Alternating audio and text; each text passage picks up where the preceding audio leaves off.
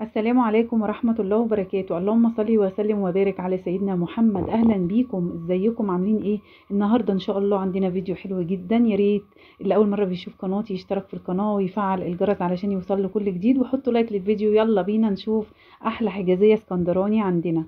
عملناها طبعا بطريقة سهلة جدا. مكونات موجودة عندنا في كل بيت. آه بصوا الحشوة مظبوطة جدا من جوه. طبعا من أجمل الحاجات الإسكندراني هي فعلا الحجازية. هنعملها بكل تكاتها وأسرارها. خليكي معايا لآخر الفيديو. السمك بتاعها فوق وتحت والحشوة مظبوطة إزاي؟ يا ريت اللي أول مرة بيشوف قناتي يشترك في القناة ويفعل الجرس علشان يوصل له كل جديد مني بنزله. ويا ريت محدش ينسى اللايك ويلا بينا نشوف المقادير. عندي أول حاجة بوله هحط فيها كوبايتين من السميد. كوبايتين من دقيق السميد عليهم كوبايتين من الدقيق الأبيض. تمام؟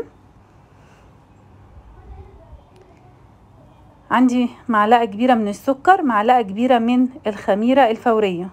رشة ملح نص معلقة كبيرة من ال baking powder. تمام؟ يبقى معايا هنا في البولة كوبايتين كبار من دقيق السميد اللي هو ال mug كوبايتين من دقيق الأبيض. تمام؟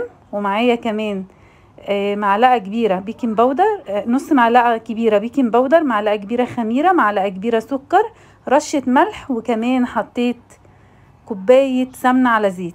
تمام؟ آه تقدري تعمليها بسمنة بس. عفوا. تقدري تعمليها بسمنة بس تقدري تعمليها بزيت وسمنة. أنا هنا حاطة نص سمنة ونص زيت نص الكوبايه سمنة والنص التاني زيت تمام؟ هفضل ادلك في في الدقيق كده والمكونات الجافة اللي أنا حطيتها آه بالسمنة كده كلها مع بعض لغاية ما تبقى معايا مرملة كده تمام؟ خلاص كده؟ بصي تمسكيها تحسي إن هي اتعجنت خلاص. عندي بقى للعجن من نص كوباية لكوباية إلا ربع مية دافية. تمام؟ مش هتاخد أكتر من كده بس على حسب نوع الدقيق. في دقيق ممكن ياخد معاكي نص كوباية وفي دقيق ممكن ياخد معاكي كوباية إلا ربع. هتعجني فيها. طبعا إحنا بنقول البسبوسة ما تتعجنش بس البسبوسة ما بيبقاش فيها دقيق. فبنقول دقيق البسبوسة ما يتعجنش. إنما هنا في دقيق البسبوسة وفي كمان الدقيق العادي. فعشان كده لازم نعجن. خلاص؟ جبت ربع كوباية تاني لأن حسيت إن هي لسه عايزة تاني فكده المقادير دي خدت معايا كوباية إلا ربع من المية الدافية وهكتب لكم المقادير بالظبط في صندوق الوصف. أنا شلت العجينة لفيتها بورق استرتش ومدفية الفرن وحطيتها فيه تخمر تمام؟ هنعمل هنا الحشوة. عندي بولة حطيت فيها نص كوباية سميد كوباية سكر حطيت نص كوباية جوز الهند وربع كوباية سوداني. هحط ثلاث معالق كبار من القرفة. تقدري تخليهم معلقتين. تمام. السوداني آه تقدري تستغني عنه خالص وتقدري تستغني عن جوز عن جوز الهند. يعني الأساسي معايا هنا في الحشوة نص كوباية سميد كوباية السكر ثلاث معالق القرفة وربع كوباية مية. عايزة تحطي السوداني حطيه. عايزة تحطي آه جوز الهند زي ما أنا حاطة كده نص كوباية جوز الهند وربع كوباية سوداني ماشي عايزة تحطي بندق بدل السوداني يبقى حلو جدا.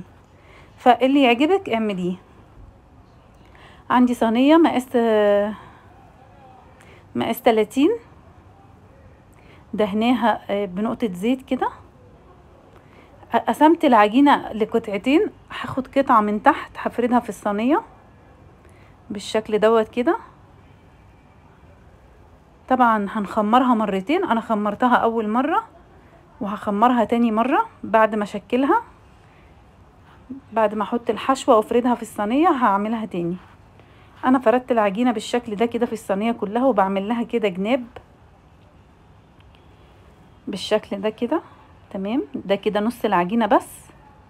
هاخد بقى الحشوة بتاعتي اللي أنا عملتها معاكم وهكتب لكم المقادير بالظبط في صندوق الوصف. تمام؟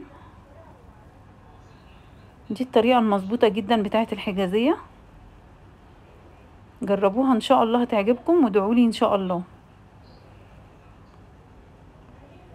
بعد ما فردت الحشوة كده بالشكل ده كده بظهر المعلقة وسويتها كويس جدا.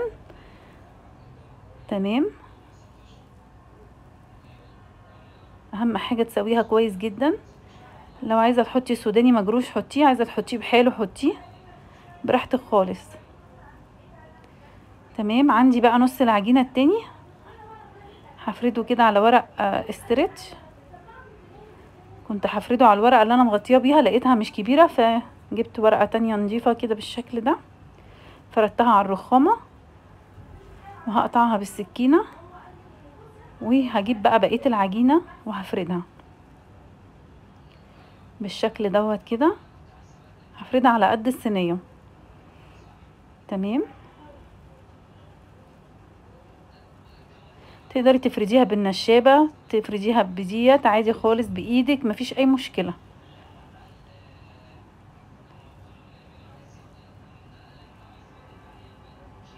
أنا بقيس كده الصينية عليها. طبعا أنا عايزاها أكبر شوية من الصينية. تمام همسكها بقى كده وهقلبها فوق الصينية.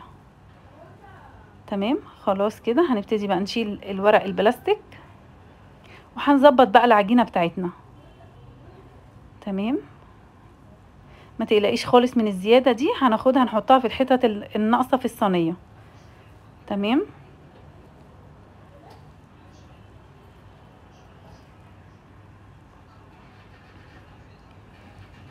هنبتدي بقى نحط الحتت الناقصة كده هندريها كلها. وهنظبط الصينية بتاعتنا بإيدينا. على فكرة سهلة خالص والله في ناس بتستصعبها بس هي سهلة خالص ما فيهاش أي حاجة. يعني هي كلها على بعضها ما بتاخدش عشر دقايق آه إنك تعمليها. ومثلا من تلت ساعة لنص ساعة تخمير. بس يعني مش بتاخد وقت خالص وحلوة جدا. وعلى فكرة تعتبر من الحاجات الاقتصادية. ما فيهاش بيض ما فيهاش لبن. تقدري زي ما قلت لك تستغني عن الزبيب آه عن عن السوداني وتستغني عن جوزة الهند. يعني فهي اقتصادية. دلوقتي أنا قطعتها وهقطعها كده إيه بالشكل ده كده. عايزة تقطعيها مكعبات مربعات قطعيها. تمام؟ بس إحنا الحجازية دايما بنشتريها بتبقى متقطعة بالطريقة دي. بعد ما قطعتها كده هنعمل بقى شكل الحجازية مش هينفع نسيبها كده.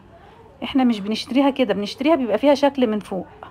فهنجيب بقى ظهر الشوكة كده وهنبتدي نمشي بيه على العجين بتاعنا نعمل له شكل بظهر الشوكة. تمام؟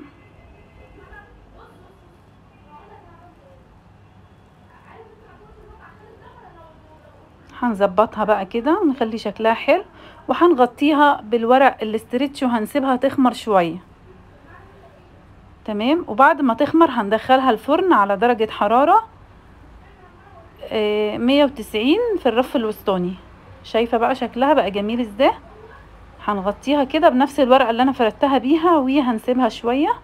تخمر ربع ساعة كده أو عشر دقايق وبعدين خلاص كده هي خمرت معايا. وأنا مشغلة طبعا الفرن الفرن عندي سخن هدخلها على حرارة مية وتسعين في الرف الوسطاني وهي هتقعد من نص ساعة لخمسة وأربعين دقيقة يعني من من تلاتين دقيقة من من تلاتين دقيقة لخمسة وأربعين دقيقة تمام؟ أهو هو ده كده شكلها طلعت معايا. طبعا هي سخنة جدا هنسيبها تبرد.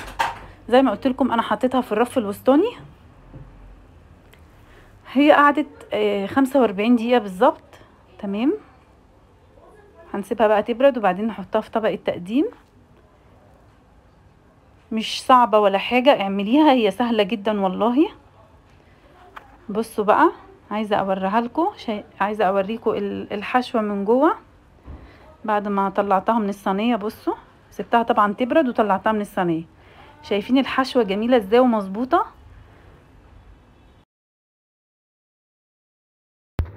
جربيها بقى بالطريقة دي وقولي لي إيه رأيك. إن شاء الله طريقة تكون سهلة عليكي. يا ريت اللي أول مرة بيشوف قناتي يشترك في القناة ويفعل الجرس علشان يوصل له كل جديد. عايزة أقول لكم يعني إن شاء الله هتعجبكم جدا. الحجازية من أجمل الحاجة الحلوة اللي ممكن تاكليها. يا ريت تقولي لي رأيك إيه. والسلام عليكم ورحمة الله وبركاته.